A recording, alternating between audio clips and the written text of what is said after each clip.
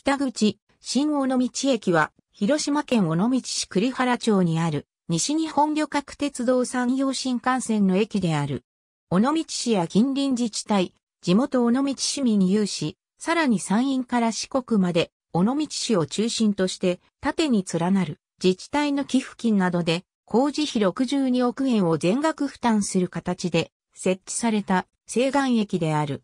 山陽新幹線の建設時にも福山広島間の中間駅として当駅の設置計画は存在したが、一駅のみを設置することになっていた。三原駅への新幹線駅併設案と比べ用地買収が容易であることから当初は有力とされていたが、三原市長の長尾正造の、もともと三原、尾道、福山の三市は短距離で隣接し、その中間にできた当駅は、両隣との駅間は非常に短く、三原駅までわずか 11km、福山駅まで 17km である。これは山陽新幹線内の駅間距離の短さで上位。福山方に尾道トンネル、三原方にビンゴトンネルがあり、どちらもホームからその高校が間近に見える。事務官コードは65万650を使用している。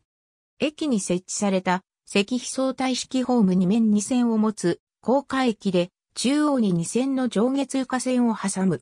改札、コンコースは2階、ホームは3階にある。改札口は1箇所のみ。利用客用のエレベーターは設置されていないが、業務用エレベーターが上下線に各1機あり、係員に申告すれば利用可能である。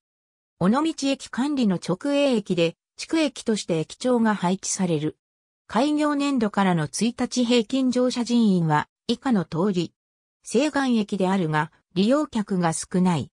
そのため、西岸駅として計画されている新駅整備に反対する住民から、しばしば西岸駅の失敗例として引き合いに出されている。当駅は在来線との接続もなければ、両隣の新幹線駅との距離がそれほど離れているわけでもないため、他の利用者の少ない駅よりもさらに厳しい見方をされている。特に他の都道府県の新幹線駅と比べても、広島県に新幹線の駅5つは多すぎで、その中でも新尾道駅の建設基準は、採算性、利用率、距離のいずれを比較しても甘すぎではないかという批判が他の自治体から上がっている。また、西岸駅であるため、毎年かかる費用の大半は、尾道市の税金で賄われている。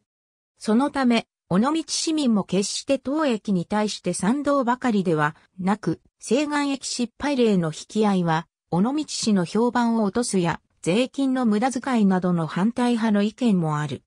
また、設立当初は賛同であった四国の近隣都市の住民も西瀬戸自動車道の開通に伴い、尾道と四国を結ぶフェリーや高速船の廃止で状況が変化し、当駅利用の必要性が薄くなっている。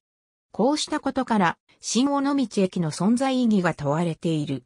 2019年3月16日現在、光は朝の上り2本、夜の下り1本が停車する。当駅設置前の1964年まで、この付近には、尾道鉄道の栗原駅があった。尾道工業団地域のみ当駅構内に入らず、駅北西側の竹谷口が最寄りとなる。長江線は竹谷口を経由せず、AB、JR 西日本新駅その後地域発展に大きな役割。交通新聞 P2 山陽新幹線バリアフリーガイド AB 新尾道駅時刻表 JR 西日本公式 HP 広島県東経年間1988年3月13日から3月31日の19日間 AB2010 年10月13日中国新聞より乗り場のご案内尾道バス株式会社。2018年9月10日閲覧。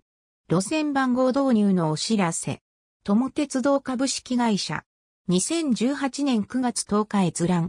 尾道バス時刻表。尾道バス株式会社。2018年9月10日閲覧。一時、新尾道駅北口、東口と称していたが、中国バスが両備えグループ参加となった後、駅構内との区別のため新尾道駅開業前の旧称に戻されている。尾道バス時刻表平成28年4月1日改正、参照。そのため、尾道駅から尾道市立大学へ向かう際は、栗原小学校北バス停近傍を通り過ぎた後700メートルほど、市道を北上して、当駅を経由し、道を戻って南下し栗小北バス停に停車、国道184号へ出て、改めて北上し大学へ向かうというルートを取る。大学から尾道駅へ向かう際は、栗原小学校北バス停を先に経由し、後北上して、当駅を経由、再び南下して、